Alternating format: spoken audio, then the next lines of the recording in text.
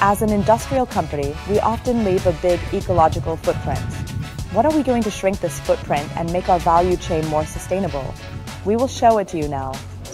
Under the motto, Energizing the Sustainable Industry, this year's Hanover Fair is also entirely dedicated to a sustainable world. Here in Hall 9, we are proud to show you at various points precisely what we are doing to make our value chain more sustainable. Our connector, terminal block, and electronic housing ranges already include the very first products that are made from bio-based plastics. The basis for this is the so-called castor plant. Ecologically, this plant offers several advantages, as it does not compete with the cultivation of food or feed crops. Fertilization and irrigation are not required either. Based on this sustainable resource, we are able to significantly reduce the ecological footprint of our plastic-based components. And regarding the ecological footprint, the journey continues at the next station because we want to know as precisely as possible the environmental impact of our products. We calculate the ecological footprint for each individual product.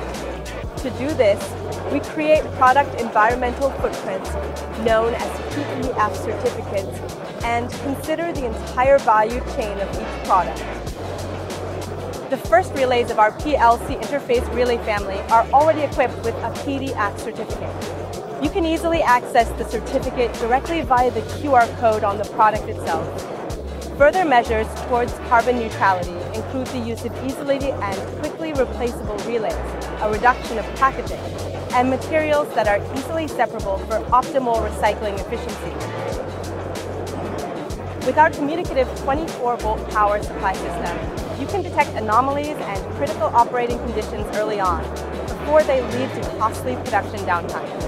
This is because the 24-volt power supply system provides you with all operational and diagnostic data in good time, allowing you to plan maintenance operations with high-level efficiency and reliability.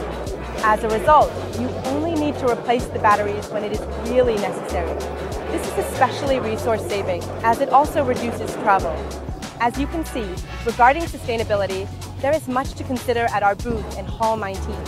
Come visit. I'm taking a short break here in the greenery.